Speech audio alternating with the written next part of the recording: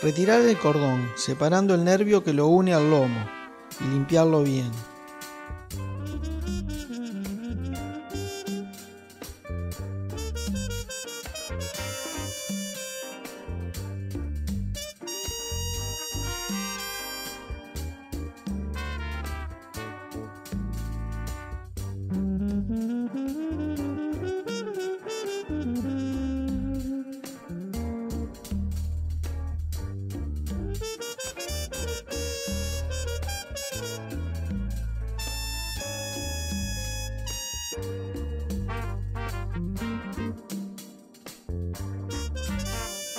Extraer la membrana que lo recubre.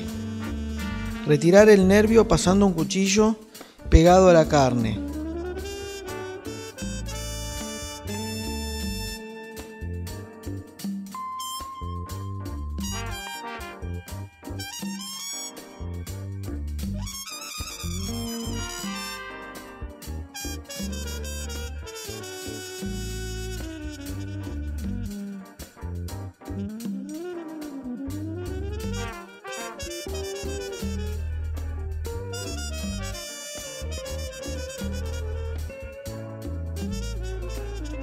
Se divide en colas, medallones, tourne y chateaubriand.